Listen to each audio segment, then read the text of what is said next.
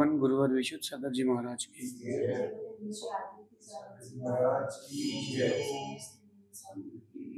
या हम सभी अपने जीवन में सुख और गुणों की अभिवृद्धि के लिए नीति के विषयों का श्रवण कर रहे हैं। नीतिकार हमें सिखाते हैं कि दो चीज़ें हमारे सामने जीवन में आती हैं। एक आती है हमारे अंदर से बुराइयाँ करना। और दूसरी आती है अच्छाइयाँ करना। एक आती है बुराइयाँ देखना और एक आती है अच्छाइयाँ देखना। अब ये आपके ऊपर है कि आप क्या देखना चाहते हैं? आप क्या समझना चाहते हैं? आप क्या सुनना चाहते हैं? गुण, दोष सब में है। हर वस्तु में गुण है, हर वस्तु में दोष है। आप किसको देखना चाहते हैं, किसको समझना चाहते हैं? और विशेष बात समझना कि अगर बुराइयाँ देखेंगे तो बुराइयाँ बढ़ेंगी, अच्छाइयाँ देखेंगे तो अच्छाइयाँ बढ़ेंगी। अगर आप अपने घर के मटके में पानी भरोगे तो उसमें पानी भरेगा। आप अगर उसमें दूध भरोगे तो उसमें दूध मिलेगा। आप उसमें दही जमाओगे तो उसमें दही मिलेगा। और अगर उसमें मल भरोगे तो आपको मल दिखेगा। तो आपका जो मन है, उसमें आप जैसा देखोगे वैसा भरेगा। बुराइयाँ देखोगे तो आपके अंदर बुराइयाँ बढ़ेंगी। अच्छाइयाँ देखोगे तो अच्छाइयाँ बढ़ेंगी। दुनिया की ऐसी कोई भी वस्तु नहीं है जिसमें अच्छाई ना हो। एक भी वस्तु ऐसी नहीं दुनिया की जिसमें अच्छाई ना हो। दस लाख प्रकार की वनस्पति है। उन दस लाख प्रकार की वनस्पतियों में दस लाख प्रकार की औषधि है। जिस बबूल के पेड़ को आप लोग अच्छा नहीं मानते हो, कांटे देता है, चुभता है वो बबूल का पेड़ औषधियों से भरा है। उसकी फली ताकत काम आती है, उसके कांटों से शरीर की सुषुप्त शक्तियाँ जागृत होती है, जो उसकी पत्ती होती है, उससे पथरी ठीक होती है। कितने सारे उसकी उपयोगिताएँ हैं। तो ज्ञान ये कहता है कि हमें बुराइयाँ ना देख करके केवल अच्छाइयों की ओर ही आना चाहिए। और जितना हम अच्छाइयाँ देखेंगे, जितना हम अच्छाइयाँ समझेंगे, उतने हम अच्छे बनेंगे। एक बात ध्यान रखना कि बुरे लोगों को बुराइयाँ दिखती हैं और अच्छे लोगों को अच्छाइयाँ दिखती हैं। आपको क्या दिखता है? किसी भी व्यक्ति में आप समझ लेना कि आप वैसे ही हैं। बड़ा प्रसिद्ध प्रसंग है महाभारत का। सुद्योधन, दुर्योधन का नाम था सुद्योधन। गुरु द्रोण ने कहा कि आज सबके शिष्यों की परीक्षा भी ली जाती है। क्योंकि परीक्षा भी आवश्यक है ना। परीक्षा ली गई तो परीक्षा के लिए भेजा गया गुरु द्रोण ने टोकनी भर के लाडू दिए उसको। किसको? सुद्योधन को। जा बेटा, हस्तिनापुर में जो जो तुझे लगे कि इसमें गुण है तो उसको जा करके ये लाडू खिला देना। सुबह निकला, छह बजे, शाम को आया, छह बजे। रात होने के ठीक पहले बोले, गुरुदेव कहाँ फंसा दिया आपने? इतने बड़े हस्तिनापुर में मुझे एक भी अच्छा आदमी नहीं मिला। धीरे से गुरु द्रोण कहते हैं, तुझे तू भी अच्छा नहीं मिला। तू भी अच्छा नहीं मिला, तू खुद को ही लाडू खिला देता। भूखा गया और भूखा आया। वह तो दुर्योधन है शुद्योधन नहीं है। फिर उन्हीं गुरु द्रोण ने युधिष्ठिर से कहा, बेटा, तू जा। जो एक अच्छा मिले व्यक्ति, जो भी जीव अच्छा मिले, उसको ही लाडू खिला देना। दुर्योधन निकला है आश्रम के बाहर। एक कुत्ता पूछ हिला रहा था, उसको पूरे लड्डू खिला दिए। बोले, गुरुदेव, और हो तो दे दीजिए। एक अच्छा व्यक्ति मिल गया। बोले, कौन मिल गया? बोले, आश्रम के बाहर एक बैठा है जानवर। वो एक रोटी खाता है, दिन भर आश्रम की सेवा करता है। गुरु कहते हैं, द्रोण, कि बेटा तू युधिष्ठिर नहीं है, तू धर्मराज युधिष्ठिर है। तुझे जानवर में भी अच्छा मिल गया। जिसको बुराई देखने की आदत होती है, उसका स्वभाव दुर्योधन जैसा होता है। जिसको अच्छाई देने की आदत, देखने की आदत होती है, उसका भविष्य युधिष्ठिर जैसे होता है, मोक्ष मिलेगा उसको। आपके अंदर क्या है? भलाई देखने की आदत की बुराई देखने की हर समय कमी देखोगे तो अकेले रह जाओगे। हर समय कमी देखोगे तो आप फिर कमियों से भर जाओगे। फिर भी कुछ लोग इतना जानने पर भी, सुनने पर भी बुराई करने वाले होते हैं। उनका नेचर रहता है कि वो हर अच्छे काम की बुराई करेंगे। क्रिटिसाइज करेंगे। देखिए, वस्तुओं को, चीज़ों को, लोगों को समझना अलग अलग बात है। लेकिन हर समय बुराई करते रहना, बुराई देखते रहना अच्छी बात नहीं। और कुछ लोग ऐसे रहते हैं कि वो सामने बुराई कर देते हैं। कुछ लोग ऐसे होते हैं जो पीठ पीछे बुराई करते हैं। ये भी बड़ी समस्या है। पीठ पीछे बुराई कर दे कोई तो बड़ी तकलीफ़ हो जाती है। क्योंकि वो वो सब कह देता है जो कुछ है नहीं। फिर भी वैसे लोगों को भी अपन को झेलना चाहिए। मैंने एक बात लिखी थी कि बुराई करने वालों की फितरत ही निराली है। बुराई करने वालों की फितरत ही निराली है। सामने मिलेंगे तो सलामी देंगे, पीछे मिलेंगे तो बदनामी देंगे। ये बुराई करने वालों की फितरत है। जो पीठ के पीछे बोलते हैं ना, ऐसे लोगों की फितरत ही ऐसी है। उसके लिए आप कुछ नहीं कर सकते। कुछ नहीं कर सकते। ऐसे लोगों के लिए एक ही उपाय है जस्ट निग्लेक्शन ओम इग्नोराय नमा। अपना काम करो और ऐसे लोगों के लिए हंड्रेड परसेंट निग्लेक्ट करो। ऐसे लोगों को समझाने से भी कुछ नहीं मिलेगा। आप जब ऐसे लोगों को समझाओगे ना भैया कि गलत बात है, किसी की बुराई मत करो तो वो आप पीछे मोड़ोगे नहीं कि फिर तो तुम्हारी भी बुराई करने लगेंगे। जस्ट बिकॉज़ उनका नेचर है। जस्ट उनका नेचर है। कुछ जानवरों को स्वभाव सिर्फ़ भोंकना रहता है। आप रोटी डालो तो पास से निकलो तो और सिर पर हाथ फेरो तो।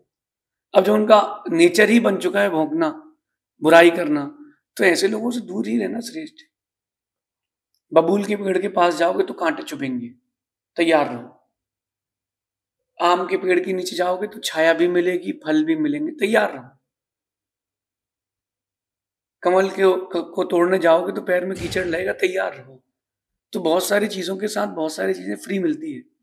जो लोग बुराई करते हैं, उनके साथ रहने से बुराई मिलती है। अच्छा उनका नेचर ऐसा हो जाता है जो पीठ पीछे बुराई करते हैं। वो हर किसी में कमी ढूंढते हैं। मंदिर आएँगे तो मंदिर में कमी ढूंढेंगे। भगवान के पास आएँगे तो भगवान में कमी ढूंढेंगे। अपने रिश्तेदारों के जाएँगे तो वहाँ कमी ढूंढेंगे। किसी के शादी में जाएँगे तो वहाँ कमी ढूंढेंगे। क्योंकि उनका नेचर उनका दृष्टिकोण वैसा बन चुका है। बस हमें कमी देखना है। समझें, बात को, विषय को गंभीरता से अपने हृदय में ले जाएँ। अगर आप अपना भविष्य अच्छा चाहते हो, आप चाहते हो कि आपका नाम भी सम्मान से लिया जाए तो बुराई करना छोड़ दो। खासकर पीठ पीछे बुराई करना छोड़ अगर आपको किसी कोई कमी लगती है तो आपको सीधा उसके मुख पर कहना चाहिए कि मुझे आपके अंदर एक कमी दिखी और एक कमी मुझे अच्छी नहीं लगी। अगर आप उसको अपना मानते हो तो लेकिन आप पीठ पीछे बुराई कर रहे हो ये अच्छी बात नहीं है।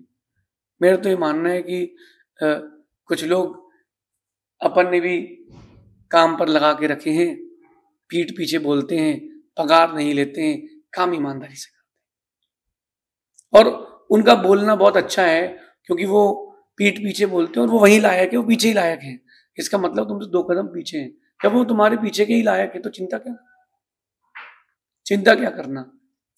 हाँ, कुछ बुराई करने लोगों का वाले लोगों का भी ज़िंदगी में होना ज़रूरी है। कुछ लोग जो बुराई करते हैं उनका ज़िंदगी में होना ज़रूरी है। इससे समय समय पर मालूम चल जाता है कि हमें कब कब सावधान रहना है। लेकिन उनके शब्दों को सुनकर के व्यतीत ना हो। वो कह दे कि इसमें दिमाग नहीं है। हाँ ठीक है नहीं होता तो तुम्हारे साथ क्यों होते? वो कह दे कि इसे कुछ आता नहीं है। हाँ सही है। अगर आता होता तो कलेक्टर नहीं बन जाते। वो कहते कि गरीब है। हाँ भाई, अगर पैसा होता तो तुम्हारा घर नहीं खरीद लेते। हम गरीब हैं, अगर पैसा होता तो तुमको नौकरी पे ही रख लेते। सही तो कह रहा हम गरीब है। वो जो कुछ भी कहे, उसे सिर्फ़ पॉजिटिविटी सोचे। और मेरा एक फंडा है टेक्निक बताता हूँ आपको मैं, कि कभी कोई आपके लिए कुछ बोल दे तो अगर आप दुखी ना हो ना तो मैं आपको एक टेक्निक देता हूँ। अगर कोई आपसे कह दे कि तुमने पैसे चुरा लिए। तुम चोर हो, तुम झूठे हो, उसे पलट के मत कहना कि क्या बोल रहा है? उसे कहना, भैया, एक बार और बोलना, मैं सुन नहीं पाया। देखो, लोग उल्टे हैं तो आपको उल्टी बातों से ही सीधी चीज़ें मिलेंगी। वो कोई बोले कि तुम चोर हो, तुम काम चोर हो, तुम मूर्ख हो, तुम्हें कुछ नहीं आता। धीरे से उससे कहना, भैया, एक बार और बोलना, मैं सुन नहीं पाया। फिर से ही बात बोलेगा। और आपको भी फिर से वही बात कहना है। क्या बोलना? कि भैया एक बार और बोलना, मैं सुन नहीं पाया। तीसरी बार वो फिर बोलेगा। अब वो रोश में बोलेगा तोश में बोलेगा, और चटक के बोलेगा। फिर से कहना, भैया वो मैं सुन नहीं पाया, आप क्या बोले थे? तुम धर्मात्मा नहीं हो, तुम पापी हो। हाँ भैया। एक बार बोलना, भैया मैं सुन नहीं पाया। पांचवी, छठवीं बार वो फेडअप हो जाएगा और बोलेगा, तू जान तेरा काम जाने। और ये बात वो दूसरे से नहीं कहेगा, क्योंकि वो बोलेगा तो पागल है उसके बारे में क्या बोलेगा बात आई समझ में? चीज़ों से निकलने के भी उपाय उन्हीं चीज़ों में है। आप जब तक उनसे भागेंगे, तब तक वो चीज़ें पीछे भागेंगी। गली में अगर आप जा रहे हो और एकदम से कोई जानवर दौड़ जाए पीछे, और अगर आप तेज दौड़ोगे तो वो और तेज दौड़ेगा। आप रुक करके एक बार उसको अगर फेस करोगे तो आप वो पीछे मुड़ के भागेगा। क्योंकि पीठ के पीछे बोलने वालों की फितरत ही ऐसी है। सामने मिलेंगे तो सलामी और पीछे मिलेंगे तो बदनामी। उनका काम ही है। जब उनका एक काम ही है तो अब उनका काम क्यों छीने? अरे, ईमानदारी से अपना काम कर रहे हैं ना। लेकिन एक बात ध्यान रखना, ऐसे लोगों का साथ कभी मत देना। जो लोग पीठ पीछे बुराई करते हो, ऐसे लोगों का आप साथ दोगे तो आप उनको बढ़ावा देते हो। उनका साथ कभी मत देना। वो बुराई करें, किसी की बोलना, भैया देखो, ऐसा है कि यहाँ पास में कचरा घर बना है अपने दिमाग का कचरा वहाँ डालो, गाड़ी वाला आया, घर से कचरा निकाल। तो कचरा वहाँ जाके डालना, मेरे अंदर क्यों डाल रहे? तुमको बुराई करने का शौक है, तुमको जिससे करना, जिसी करना करो, मुझसे मत कहो, हमारा दिमाग स्वच्छ है। हमारा दिमाग स्वच्छ है। और मुझे ऐसा लगता है कि बुराई करने वालों को सिर्फ़ वही लोग पसंद करते हैं, जिनका आने वाला वक्त काला होता है। दुर्योधन ने पीठ पीछे कितनी बुराइयाँ करी, युधिष्ठिर की, द्रौपदी की, चीर हरण तक कर दिया। फिर भी वक्त किसका बुरा आया? दुर्योधन का, कौरवों का। और जिन जिन ने उनका साथ दिया, वो सब गए। चाहे गुरु द्रोण हो, कर्ण हो, स्वयं दुर्योधन हो, या कृष्ण की सेना हो। जिन जिन ने उसका साथ दिया है, दुर्योधन का, वो सब मरे हैं। क्योंकि जो बुराई करने वाले होते हैं, उनका साथ दोगे तो आपका आने वाला वक्त काला निश्चित रहेगा। थोड़ा टाइम लग सकता है, क्योंकि जब किसी को बहुत ऊंचाई से फेंकता है ना कर्म तो उतना देर ऊपर ले जाने में तो लगेगी ना। नहीं लगेगी। ये फ़र्स्ट फ्लोर है, इस फ़र्स्ट फ्लोर से किसी को फेंकना है तो आप यहाँ से धक्का मार सकते हो, गिर जाएगा वो। लेकिन अगर उसको आपको दसवें माले से फेंकना है तो ऊपर ले जाने में टाइम तो लगेगा। कर्म भी वेट एंड वॉच करता है। जो तुमको और ऊँचा लेके जाता है, और ऊँचा लेके जाता है, और जो बुराई करता है, उसको लगता है कि देखो, मेरा तो नाम चल रहा है, और फिर कर्म उसको उतनी ऊपर से नीचे छोड़ता है कि अब तू गिर, तू ऐसे गिर कि दोबारा तुझे चोट लगने की जगह ना रहे। इसलिए धीरज रखना, जो बुराई कर रहे हैं ना, एक दिन उनका वक्त काला आएगा, और जो बुराई करने वालों का साथ दे रहे हैं, उनका वक्त और भी काला आएगा। और भी काला आएगा बचपन में आप लोगों ने साइकिल ज़रूर चलाई होगी, मुझे सब विश्वास और दो चक्के वाली साइकिल चलाने के पहले आपने चार चक्के वाली साइकिल चलाई थी, वो छोटे से दो चक्के साइड में लगाते हैं। देखना आप, जिनका सपोर्टिव रोल होता है बैलेंसिंग रोल होता है, वो वाले चक्के पहले घिस जाते हैं। नहीं घिसते? जो मेन चक्के होते हैं, वो कम घिसते हैं। आजू वाले वाले चक्के, क्योंकि उनके ऊपर भार बहुत रहता है। ऐसी जो बुराई करने वालों का सपोर्ट करते हैं, वो पहले घिस जाते हैं, क्योंकि उनके ऊपर भार बहुत रहता है। तो मेरा ये कहना है कि अपन कभी किसी की बुराई ना करें। अगर बुराई दिख भी जाए तो उसको पी लें। भूल जाए, क्योंकि नो बडी इज़ परफेक्ट कोई फिजिक्स में फेल है, कोई केमिस्ट्री में फेल है। फेल सभी है। तो अपन ये कैसे बोल सकते हैं कि तुम फेल हो और हम नहीं? बुराइयाँ देखना ये कमी है ना। ईर्षा करना भी तो कमी है। दूसरों के लिए अपशब्द कहना भी तो कमी है तो कमियाँ तो सब में है, इसलिए सब कुछ सीखो। मगर बुराई सुनना, बुराई करना कभी मत सीखो। धीरज रखना, समय अच्छा आने में देर लग सकती है, लेकिन जब अच्छा समय आता है, फिर वो सब कुछ इतना सुहावना कर देता है कि आप सोच नहीं पाएँगे। और जो बुराई कर रहा है, आपको दुख दे रहा है, पीड़ा पीड़ा कर रहा है, पीठ पीछे खंजर भोग रहा है तो ऐसे लोगों के साथ के लिए बुरा मत सोचे। कर्म उनको भी हाइट पर ले जा रहा है। उनको एक अच्छी हाइट ले जाकर कर्म फिर ऊपर से छोड़ेगा, ताकि दोबारा किसी के जीवन में तकलीफ़ ना हो। ये जो नीति में कह रहा हूँ, ये आपके मन की शांति को देने वाली है। दूसरे व्यक्ति को आप, सामने वाले व्यक्ति को आप बिल्कुल नहीं समझा सकते हो। समझेगा वो अपनी समझ से ही। समझेगा वो अपनी समझ से। लेकिन बता अपन ज़रूर सकते हैं रास्ता कि भैया वहाँ से रास्ता जाने का। बुराइयाँ आपके अंदर बुराइयाँ बढ़ाएँगी अच्छाइयाँ आपके अंदर अच्छाइयाँ बढ़ाएँगी आप क्या बढ़ाना चाहते हैं अपने जीवन में? बुराइयाँ की अच्छाइयाँ। हाँ? तो अच्छे लोगों से जुड़े ना। आप बुराइयाँ बढ़ाना चाहते हो तो बुरे लोगों से जुड़े। बहुत सारे लोगों को मैंने देखा कि वो आदत की मजबूर होते हैं। उनको कितनी समझाओ वो ही करेंगे। वो ही करेंगे। उनको वही चीज़ें पसंद है। ऐसे लोगों से दूर हो जाना श्रेष्ठ। क्योंकि एक दिन उनकी बुराइयाँ आपको भी बुरा कर देगी। जब कोई बड़ी सी भट्टी लगती है शादी ब्याह में, विवाह आदि हो रहा, बहुत बड़ी भट्टी लगती है, पानी गर्म करने के लिए या खाना वगैरह बनाने के लिए, उससे आप बहुत दूर से भी निकलो ना तो आँच आती है। और जब कभी पुराने जमाने के घर याद करना झोपड़ियाँ थी और ऊपर चंदेवा लगा था, कपड़ा बना था। आग नीचे जलती थी। चंदेवा का कपड़ा ऊपर था, लेकिन वो कपड़ा ऊपर का जल जाता था। छिन्न छिन्न हो जाता था। क्योंकि अग्नि के पास में, इतना दूर है फिर भी पास में।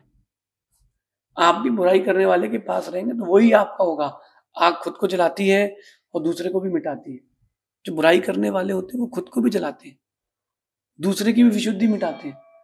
वहीं आप बर्फ़ को देख लो, नदी के पानी को देख लो जहाँ होता है नदी का पानी, वो आसपास के इलाके को ठंडा कर देता है। आसपास के इलाके के जानवरों को, मनुष्यों को, प्राणियों को पानी की व्यवस्था देता है। देता कि नहीं? बस इतना सी तो बात है। नदी का पानी बने जंगल की आग ना बने। किसी के जीवन में आग लगाकर तुमको मिलेगा भी क्या? अच्छा चलो अगर कोई सही गलती हो, कोई सही बुराई हो कि उसमें व्यक्ति में कमी थी तो भी ठीक है। आज के समय व्यक्ति सिर्फ़ बिना मतलब के ही बुराइयाँ करना सीख गए बस कमी देखना है। किसी समझदार व्यक्ति ने, एक नासमझ व्यक्ति को ये हड़ौती की बात है कोटा की। समझदार व्यक्ति ने नासमझ व्यक्ति को एक घेवर का टुकड़ा दिया। कहता है, यार बताओ यार, कैसा आदमी है? मिठाई दी तो छेद वाली। उसने उसको मालपुआ दिया। फिर कहता है, देखो, मिटाई दी तो छेद वाली। अरे, जिसकी बुद्धि में कमियाँ देखना लिखा है, वो कमी देखेगा। ऐसे लोगों को कहते हैं, छिद्रान्वेषी। छिद्र अन्वेषी, वो अन्वेषण करते हैं, खोज करते हैं, किसकी? छेदों की, बुराइयों की। कोई बात नहीं, कर लो, तुम्हारे जीवन में वही लिखा है। अच्छाइयाँ देखना तुम्हारे जीवन में लिखा ही।